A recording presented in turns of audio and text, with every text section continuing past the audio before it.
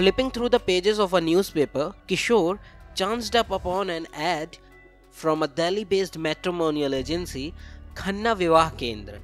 What aroused his interest was that the agency promised to find suitable matches for divorcees and senior citizens too. He called up the agency. Its owner, Manju Khanna, told Kishore she had the perfect bride for him. A meeting was fixed and Kishore liked Monica at first sight. She was 25 years younger than him.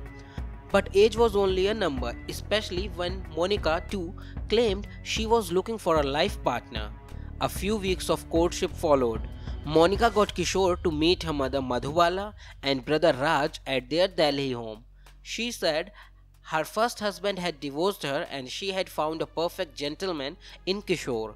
In August 2019, Kishore and Monica tied the knot. That was almost a year after the contractor had lost his first wife. Marital bliss had returned to Kishore. The couple started living in a house in Kavinagar, but it lasted just two months. One morning, Kishore woke up to an empty house. Monica had disappeared, and so had all the jewelry in the closet and rupees 15 lakh in cash.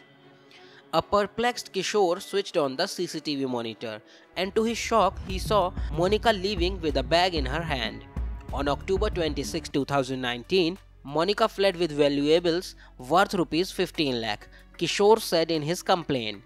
Kishore alleged that when he contacted the Delhi based agency, the owner threatened to frame him in a false case and also demanded rupees 20 lakh more.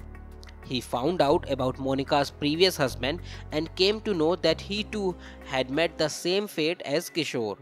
It was the same matrimonial agency that had fixed Monica's previous marriage. An FIR has been lodged, and police said preliminary investigation had showed that Monica had married eight senior citizens in the past 10 years and fled with cash and jewelry after a few weeks of the marriage and every time it was Khanna Vivah Kendra that had fixed the marriage. Now, SP City Abhishek Varma said an investigation has been initiated into the complaint. We will check if the matrimonial agency followed all the norms or not. Subscribe to our channel by clicking the subscribe button. Click the bell button and enjoy the latest uploads from our channel.